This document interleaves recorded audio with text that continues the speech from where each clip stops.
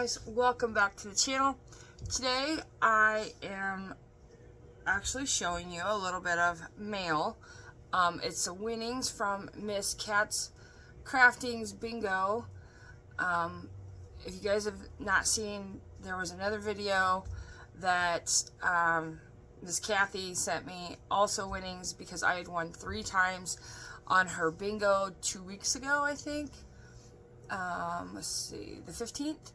So, um, Miss Janie, or Trucker Janie, I don't know what her new, her new, um, she renamed it. I'm not sure what it is.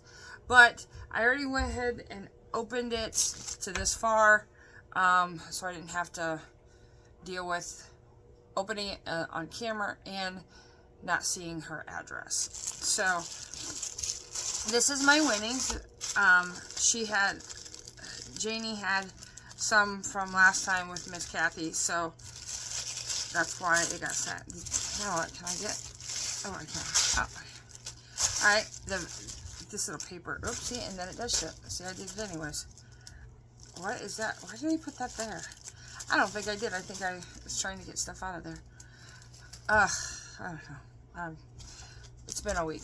Alright, let's see what we got here. Um, a pocket notebook, 50 pages with a pineapple.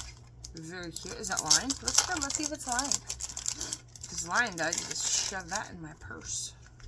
Oh, it is.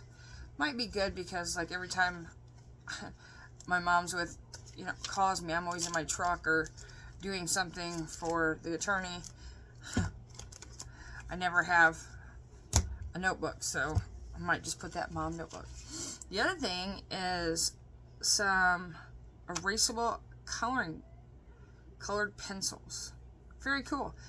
Um, never had erasable ones, so that is kind of neat. Real wood. Easy.